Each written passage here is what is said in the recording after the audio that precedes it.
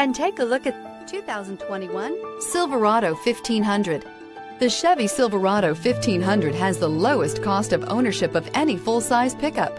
This vehicle has less than 100 miles. Here are some of this vehicle's great options. Four-wheel drive, sliding rear window, tire pressure monitor, blind spot monitor, tow hitch, bed liner, heated mirrors, aluminum wheels, remote engine start, traction control. If affordable style and reliability are what you're looking for, this vehicle couldn't be more perfect. Drive it today.